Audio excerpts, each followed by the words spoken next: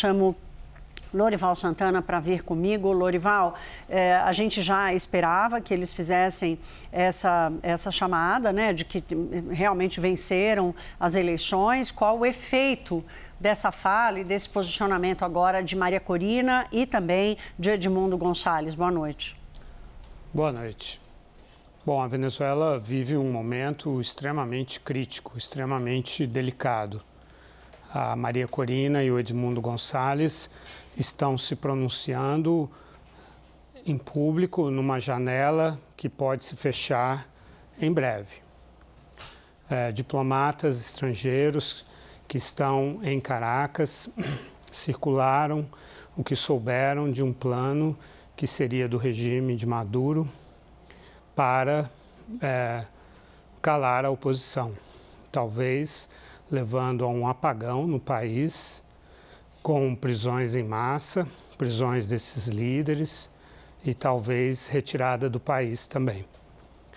Então é um momento em que a gente ainda consegue ouvir os líderes da oposição, eles têm plena consciência do que eu estou falando e procuram então mobilizar a população para o que ela chamou de assembleias enormes, né?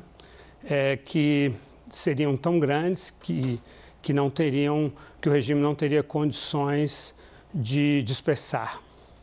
Mas esse, naturalmente, essa é uma estratégia é, difícil de dar certo. Né? O regime está muito preparado. É, o que nós acompanhamos na madrugada de hoje demonstra que havia um plano já bastante articulado e coordenado né, pela sequência dos pronunciamentos que foram feitos, primeiro pelo Elvis Amoroso, presidente do Conselho Nacional Eleitoral, e depois pelo presidente Nicolás Maduro, incriminando a oposição, eh, enquadrando em crime de terrorismo por haver supostamente derrubado o, o site da internet, o site do Conselho Nacional Eleitoral.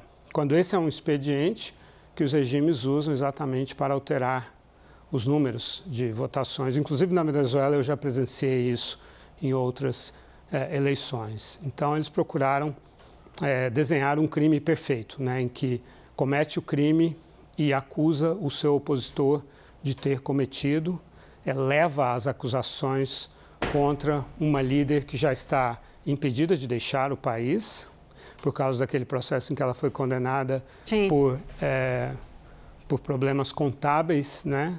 É, a 15 anos de prisão, prisão e a inelegibilidade. Então, agora deverá ser enquadrada por terrorismo e também um recado muito duro foi dado à população para que não saia às ruas, que o regime não vai tolerar isso.